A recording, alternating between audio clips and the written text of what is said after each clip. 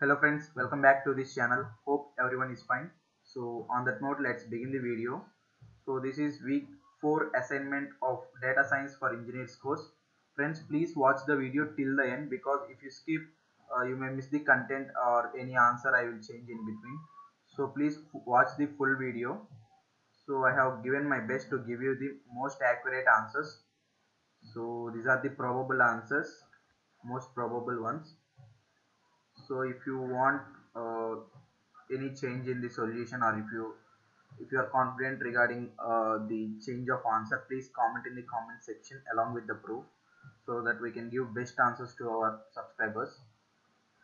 So let's see the first question. Let f of x equals x cube plus 6x square minus 3x minus 5 so what are the correct options? So for first question the probable solutions are option b minus 2 plus root 5 will give minimum.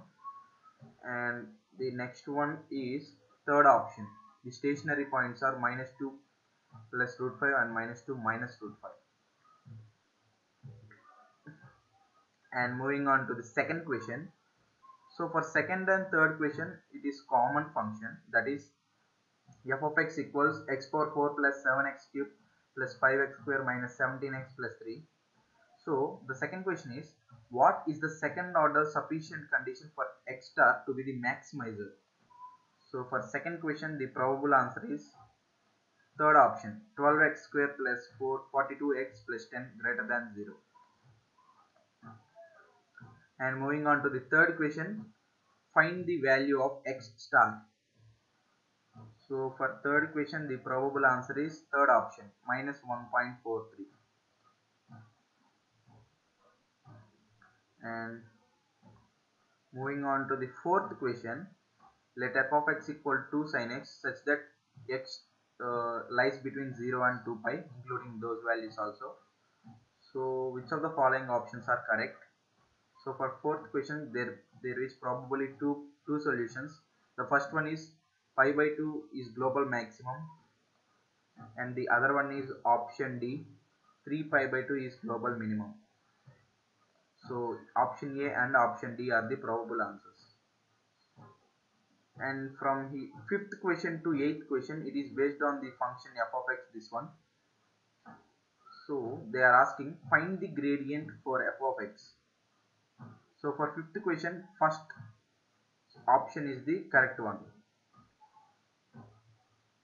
That is 4x plus 4x1 plus 3x2 plus 1 and 3x1 plus 6x2 plus 3. So this is the probable answer for first uh, fifth question. First option is the correct answer. And moving on to sixth question, find the stationary point for f of x. So for sixth question, the answer I have got is third option 0.2 comma minus 0.6. That is third option, option C. And moving on to seventh question, the probable solution I have got define the Hessian, Hessian matrix for f of x. So I have got the answer as third option 4 3 and 3 6.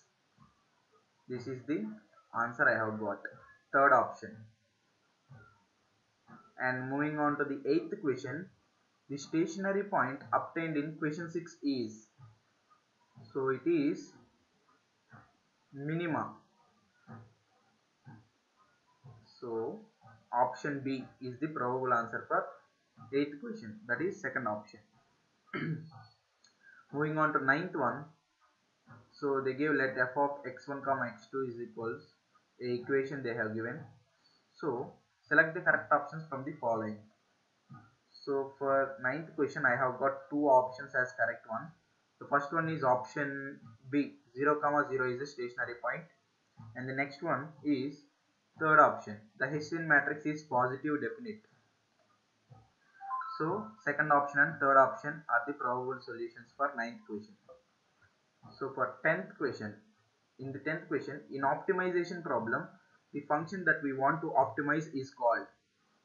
So for tenth question, the probable answer is option 4, objective function. Fourth option is probable correct answer for tenth question.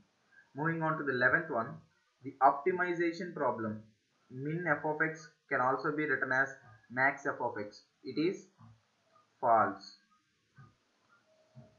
And final question of this assessment that is 12th one. In the gradient descent algorithm the step size should always be the same for each iteration. It is false. So friends these are the probable solutions for week 4 of data science for engineers course so if you have uh, any suggestions to change the answer please inform me in the comment section. And also uh, before submission day just once again visit this channel video uh, with the comment section. So if there are any changes i will post in the comment section.